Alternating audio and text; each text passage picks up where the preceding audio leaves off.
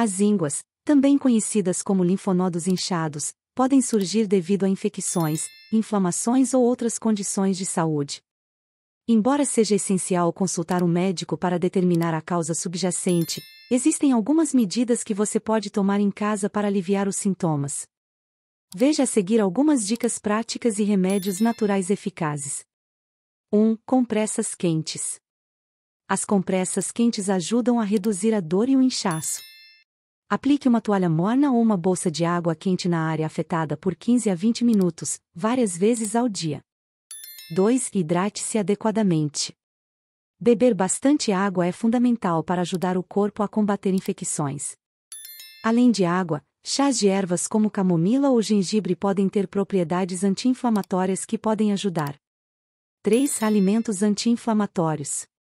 Inclua alimentos anti-inflamatórios na sua dieta, como frutas e vegetais frescos.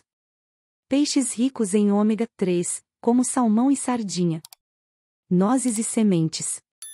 Azeite de oliva extra virgem. 4. Repouso. Descansar é crucial para permitir que o corpo se recupere.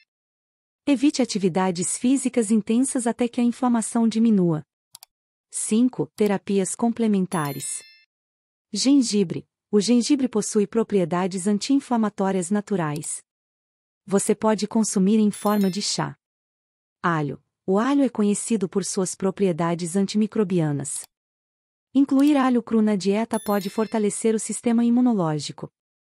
Cúrcuma. O curcumin, ativo da cúrcuma, tem propriedades anti-inflamatórias. Adicione cúrcuma em pó em suas refeições ou prepare um chá. 6. Evite automedicação. É importante não tomar antibióticos ou outros medicamentos sem orientação médica.